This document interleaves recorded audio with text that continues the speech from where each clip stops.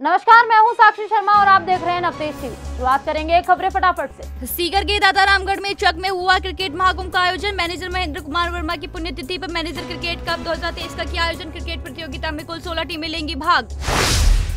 कोटा में Elon coaching संस्थान के छात्र ने फांसी लगाकर की आत्महत्या। पुलिस ने शव को मोर्चरी में रखवाकर परिजनों को सुबह पुलिस कर रही मामले की जाँच।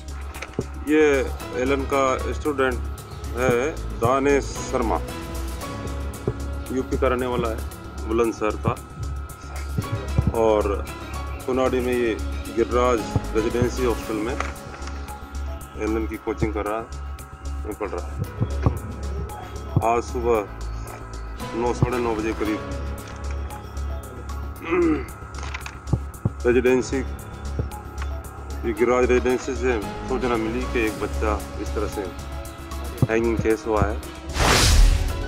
कोटा में सिमलिया थाना क्षेत्र में फोर लेन पर ट्रैक्टर की टक्कर से बाइक सवार की मौत, पुलिस ने करवाया पोस्टमार्टम, जाँच में जुटी पुलिस। ये मृतक था हरेंद्र सिंह उर्फ़ चिंटू। पुत्र ईश्वर सिंह, राजपूत, निवासी पाडलिया का रहने वाला था। तो ये रात्रि को दो बजे करीब कोटा आ रहा था। तो एक ट्रैक्टर, जिसके नंबर आर जे अट्ठाईस R C three double six three ये अंता से कोटा की तरफ़ जा रहा था। इसने टक्कर मारी, ट्रैक्टर के नीचे आने से। इसको इलाज हेतु कोटा लेकर के आए। कोटा डॉक्टर ने इसको मृत घोषित कर दिया, परिजनों को सूचित कर दिया था। इसके परिजन आ चुके पोस्टमार्टम की कार्रवाई चल रही है।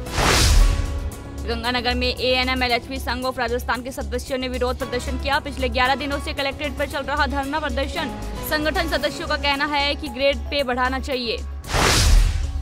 जोधपुर के सर्किट हाउस में पूर्व मुख्यमंत्री राज्य के पहुँचने के बाद भारतीय जनता पार्टी के कई नेताओं ने बंद कमरे में की मुलाकात। राजस्थान की पूर्व मुख्यमंत्री वसुंधरा राजे ने सर्किट हाउस में भाजपा के कई नेताओं से की मुलाकात।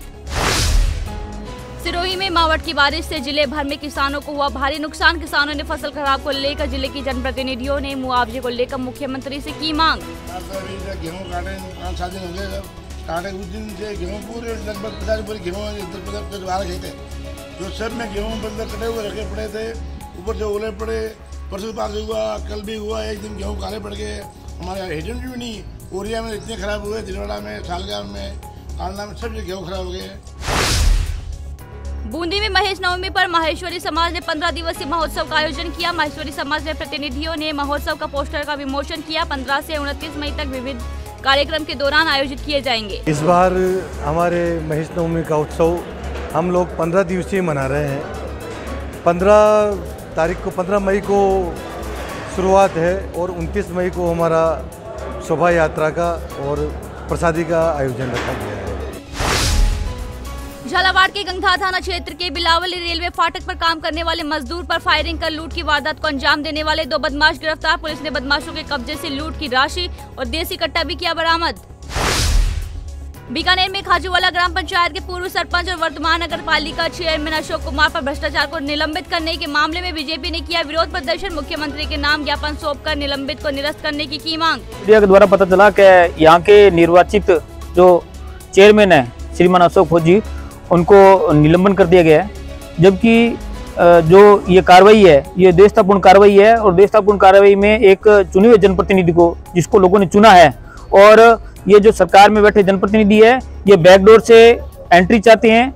जब पब्लिक ने जब चुना है तो उसको पूरा मौका मिलना चाहिए था और जिस मुद्दे पे निलंबन किया गया है, वह एक व्यवस्थापूर्ण कार्रवाई है, जिसके अंदर पहले भी एफ़ हुई थी और उसके अंदर इनको निर्दोष पाया गया था। और उसके अंदर उस वक्त ये सरपंच थे। अब चेयरमैन बनने के बाद में उसको इन्होंने जो है स्वायत्ता शासन के अंदर उठाया रखा। बात को रखने के बाद में द्वेषपूर्ण कार्रवाई करके एक तरफा कार्रवाई की है। बिना कोई सुनवाई के उसका जो है, उनको निलंबन किया गया, जो बिल्कुल ही जो है निलंबन है, वो बिल्कुल अवैध है। हाँ पूरा जो गाँव है, उसके अंदर, इसके अंदर पूरे नगर पालिका क्षेत्र के अंदर इस बात को लेकर आक्रोश है और आज इसी आक्रोश को हम यहाँ व्यक्त करने आए हैं।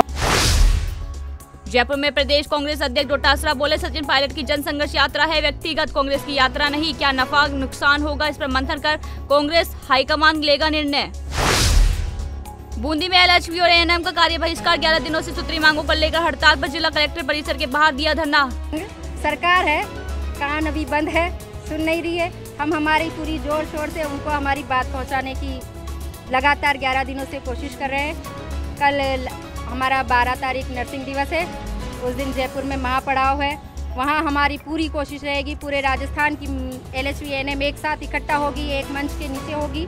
वहीं पर नर्सिंग दिवस मनाया जाएगा और पूरी पुरजोर कोशिश रहेगी कि वहाँ पर सरकार हमारी बात अवश्य सुने।